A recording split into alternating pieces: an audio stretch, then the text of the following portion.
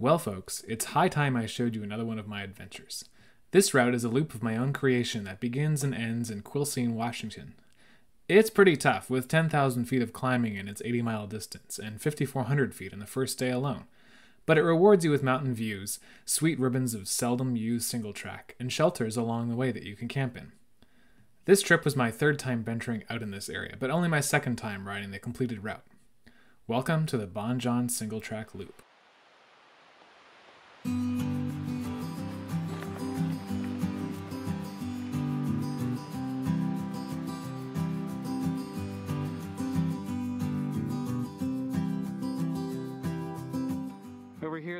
Splits.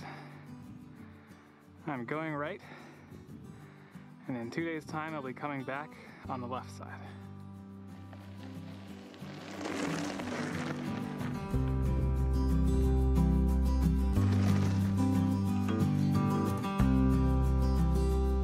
Well, started what will be probably five miles of climbing.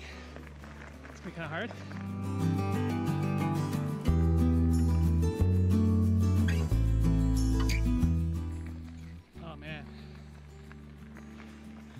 Nearly at the top of this thing, but I think I forgot how big these climbs are. It's crazy. And I'm about to lose all the elevation, or almost all of it. Then I have to do it again before camp.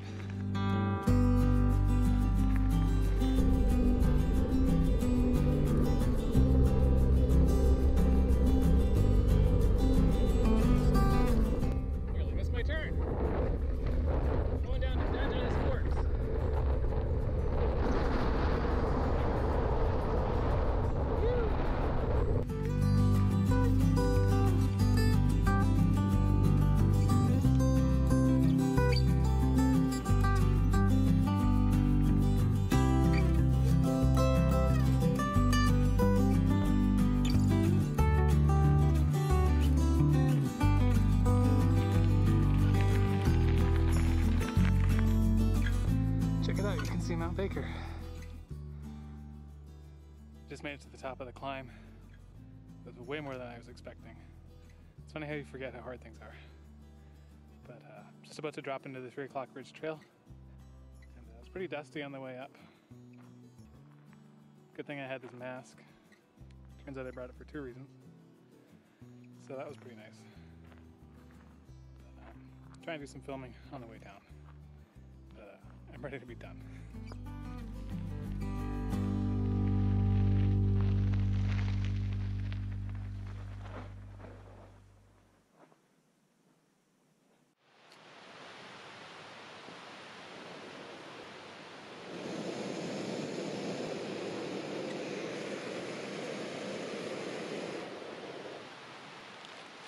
Good morning. I slept for 10 hours last night.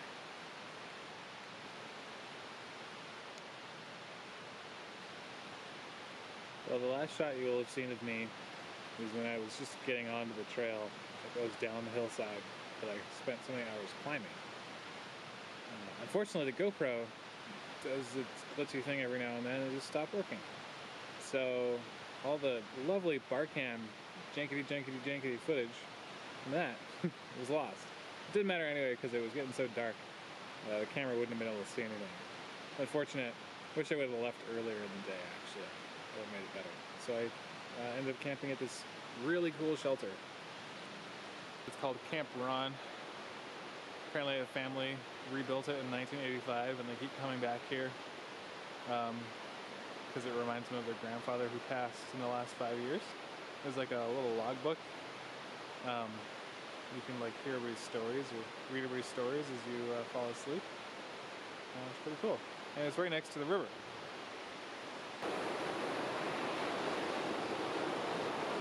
Beautiful. I took my time packing up and then headed upriver on the lower Dungeness Trail.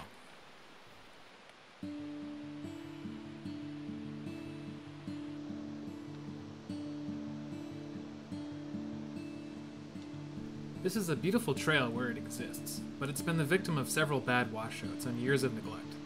The route drops into the Dungeness Valley where it does, in order to avoid the worst of the washouts further downstream.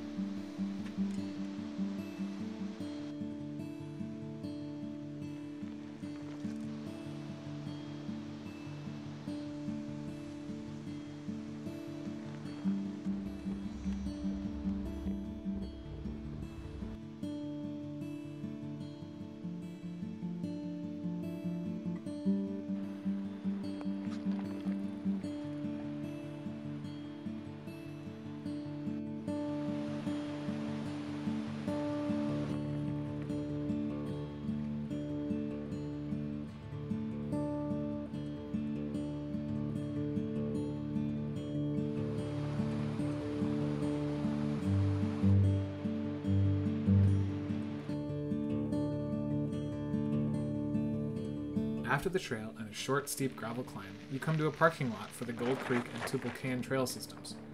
All the cars in the parking lot might make you worried about congestion on the trail, but actually, most of the hikers go up the Tubal Cain Trail into the Buckhorn Wilderness. I didn't see anyone on the Gold Creek Trail this day.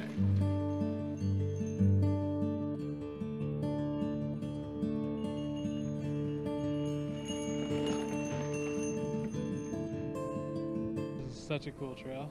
It's so smooth and uh, trends slightly downhill. So you just sit there and cruise along. It's so great. Starting to open up on the side. You can see some views. Pretty sweet. Definitely worth a road climb.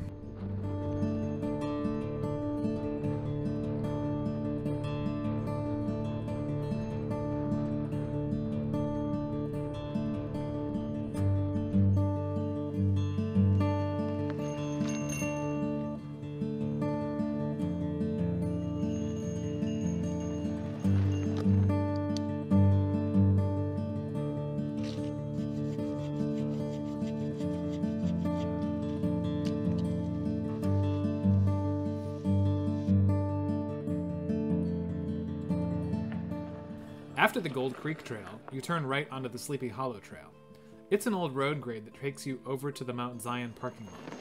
I brought my saw for this trip mostly because there were a lot of overgrown sections along here last time, but I was surprised to find out that it had been cleared pretty recently. The only thing I had to contend with was tall grass and swarms of gnats at head height for miles. Well, quick update. I finished the trails. I'm headed towards Mount Zion, but I'll be on fire roads. Ran through a crap ton of tall grass. Got uh, quite a lot of seeds on my socks. But uh, I'm in good spirits, and I'm feeling a lot better than I remember feeling at this point last time I did this. So that bodes well for the Mondo climb I have ahead of me. So I'm at the top of Mountain Zion Trailhead. I don't think I'm gonna go up. I've always been curious to go up, but I've never had the energy once I'm here. So right now I'm gonna do pretty awesome downhill.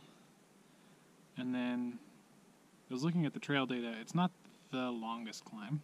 It just takes you the highest. Um, so hopefully there's some good views. It's kind of cloudy today, so but they keep rolling in and out. So we'll see what we can see up there. The Mount Zion Trail is open to bikes, but as I said, I've never had the energy for another mile and a half of climbing once I reach the trailhead. If you come in the spring, this is a great area to see the rhododendrons, but water's not available unless it's been really wet, so camel up on Gold Creek beforehand. After a quick two mile descent, I climbed up towards Bon Jon Pass, the last major climb on the route.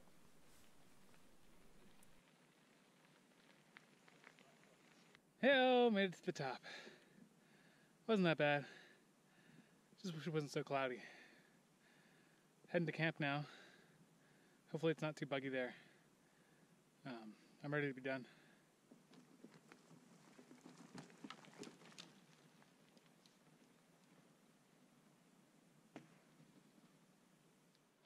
Here I am at the Sink Lake Shelter. Spent the night here. Um, had a pretty good sleep. Just kind of pitched my, didn't pitch anything. Put my pad on the ground over there. Slipped underneath the roof. The roof is kind of sketchy. Definitely in worse shape than the uh, river camp uh, from last night. But uh, I had a good campfire, so that made the night longer and more pleasant. Um, it's a really cool forest in here. I love how open the ground is and how tall the canopy is. It feels like a cathedral. Um, so it's kind of a cool place to come, even though the shelter and the stream are not as primo as um, River Camp on the Dungeness. So today my itinerary is just to head down um, the forest road. It's paved, but it's really fast downhill, so it should be fun. Then I have a small climb, and then I'm doing some of what I think is the sweetest riverside single track um, close to Seattle. So it's like 20 miles to get home, but most of it is downhill. So um, it's gonna be pretty quick. And then it's uh, that's it. That's the that's the trip. So hope you enjoyed it.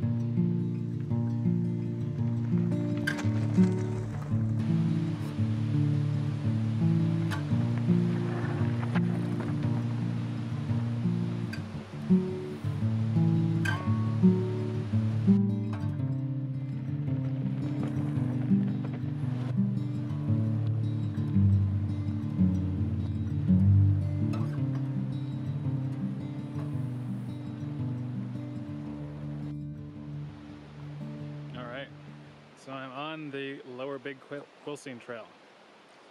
It is awesome. Sun is shining. And it's super fun and super pretty. I'm in these campsites that are right next to the river. I'd love to come here and camp one time, but then I have to bring a tent, and that would weigh me down a little more. So we'll see, but it's a really cool spot. Got a lot more buff single track to go. And uh, such a nice way to end this little trip.